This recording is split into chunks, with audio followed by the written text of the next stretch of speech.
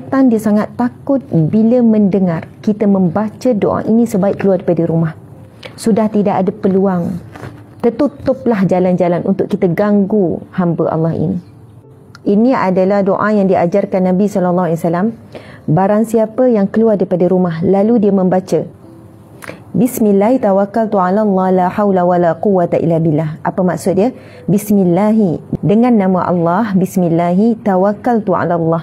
Bismillah tawakkaltu ala Allah dengan nama Allah aku bertawakal kepada Allah. Aku menyerah diriku kepada Allah. Aku menggantungkan harapanku kepada Allah. Aku meminta pertolongan Allah.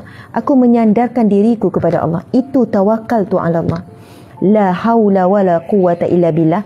Tidak ada daya, tidak ada upaya melainkan daripada Allah. La haula tidak ada daya wala quwata tidak ada kekuatan, tidak ada kemampuan illa billah kecuali dengan Allah.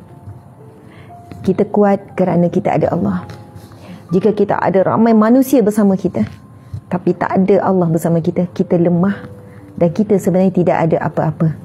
Tapi bila manusia tak ada dengan kita, tak ada orang nak bersama kita, tak ada orang nak sokong kita, kita rasa kita keseorangan.